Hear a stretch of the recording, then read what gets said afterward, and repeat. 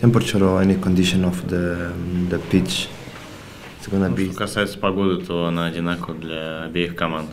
Поэтому и поле, и мяч будут абсолютно одинаковы для всех.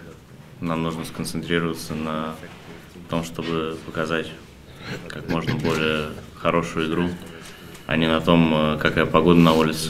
Forget about the conditions because there's some things that we cannot control. We hope to win. uh, Прежде всего, как и в любом домашнем матче, мы очень хотим победить. Но я не считаю, что завтра для нас будет легкий матч. Думаю, что игра сложится тяжелым образом.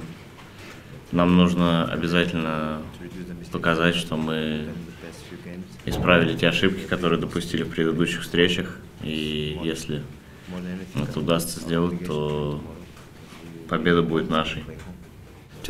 Мое видение таково, что все матчи складывались в принципе одинаково, что мы не могли удержать преимущество после того, как забивали гол.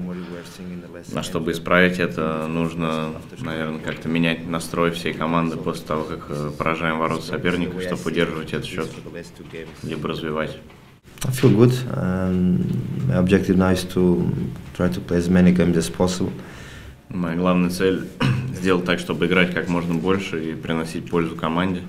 В данный момент я счастлив, что удалось провести э, столько матчей в стартовом составе подряд и настраиваю себя только на то, чтобы помогать команде. To help as much as possible.